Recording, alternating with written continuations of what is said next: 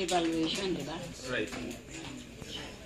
All right, and then the second place for the evaluation speech contest goes to Ed. Toastmaster Third Katayo.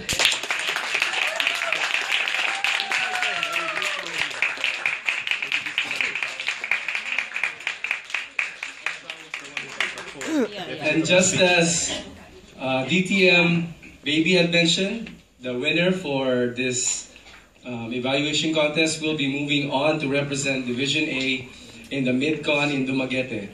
And so with that, I'd like to announce and congratulate, that's all for announce and congratulate, the first place winner Siya! Siya! is none other than Toastmaster Sha Nacino. Woo!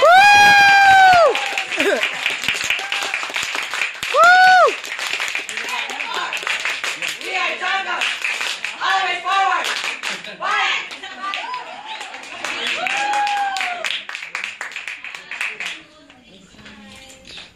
Santos.